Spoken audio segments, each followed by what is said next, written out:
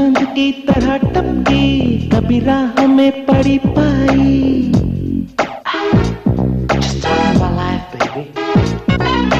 कभी चाँद की तरह टपकी, कभी राह में पड़ी पाई। अठन्नी से ज़िंदगी, ये ज़िंदगी।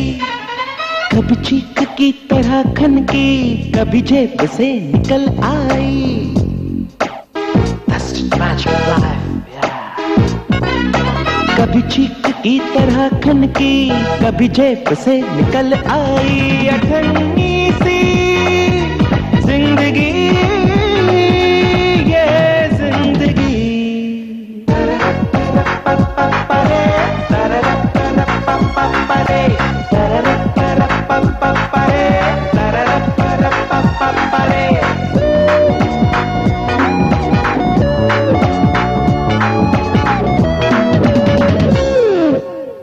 चेहरे पे जड़ी देखी कहीं मोड़ पे खड़ी देखी। आ, कभी चेहरे पे जड़ी देखी कहीं मोड़ पे खड़ी देखी। शीशे के मर्तबानों में दो कान पे पड़ी देखी जो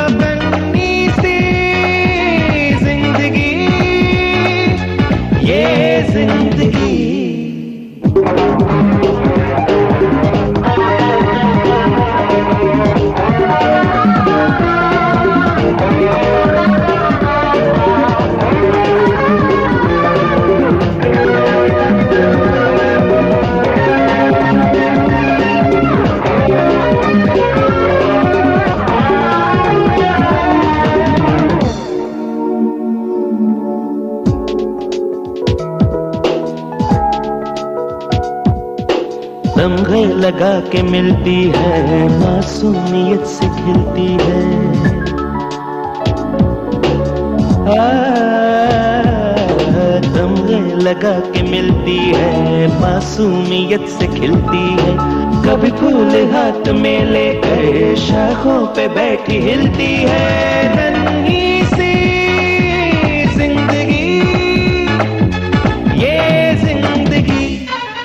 कभी चाँद की तरह टपकी, कभी राह में पड़ी पाई, कभी चीख की तरह खन की, कभी जेब से निकल आई। अठन्नी सी ज़िंदगी, ये ज़िंदगी।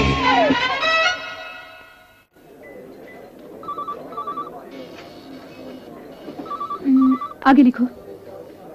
वक्त आ गया है कि औरतें अपने आप को मस्त मस्त चीज़ समझना बंद करें।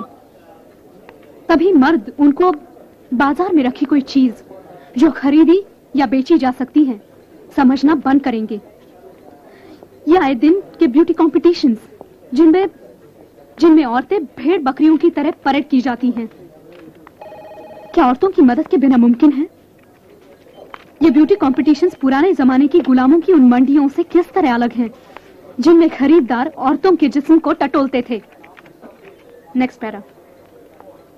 मर्दों से भी ज़्यादा औरतें स्वयं अपने कॉज को हानि पहुंचाती रही हैं। अब अगर किसी शहर में ऐसा ब्यूटी कंपटीशन होता है तो हमें उसका बाइकआउट करना चाहिए। ऐसा मैं इसलिए नहीं कह रही हूँ कि हमारी सभ्यता को खतरा है। खतरा है औरत जाति के कॉज को। औरत कोई नुमाइश की चीज़ नहीं जीती जागती सांस लेती ज़िंदा हकीकत है। दैट्स ऑल टाइप करने के बाद एक बार मुझे दिखा देना। ओके मैडम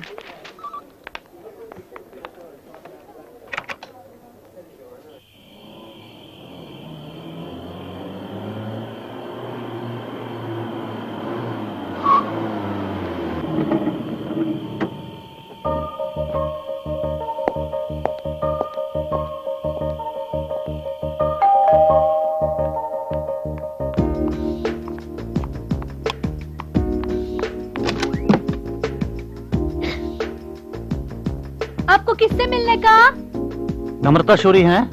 आप कौन? शांतनु आर्या। हाँ? शांतनु?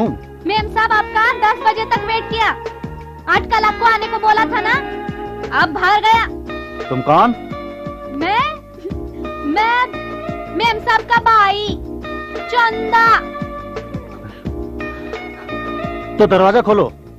दरअसल मुझे तुम्ही से काम है। काय को? शर्म नहीं आती? मेम साहब को पता चलेगा तो क्या सोचेगा? तुम्हारे बारे में मेरे बारे में? मेरे को मेरे को नौकरी से निकाल देगा। निकाल दे मैं रख लूँगा। पगार कितना देगा? हम्म, जो कुछ मेरा है वो सब कुछ तेरा हो जाएगा। वो तो मेम साहब का है। तुम भी तो मेम साहब की हो। सच पूछो तो तुम में मुझे मेम साहब और मेम साहब में तुम्हारा चेहरा नज़र आता है।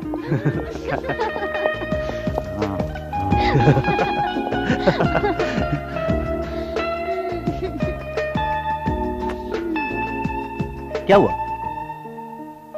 तुम कुछ अपने अपने से नहीं लग रहे हो। बदल गए हो। नहीं तो?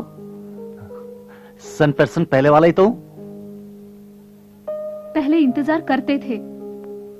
अब करवाते हो। देर से आते हो। कभी आते ही नहीं। सॉरी तक नहीं कहते। प्यार में सॉरी और थैंक यू नहीं होता। हम्म, शिकवा शिकायत तो होता है ना? आज तुम्हें हुआ क्या? अभी अच्छी खासी तो खुश थी। खुश थी तुम्हारे आने से। और उदास हूँ। तुम्हें पाकर भी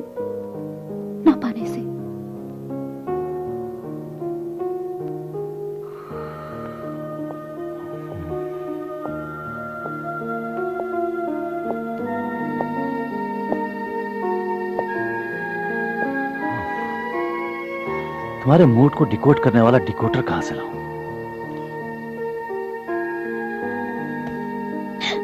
हम्म, ये बाहें तुम्हारी डिकोडर हैं।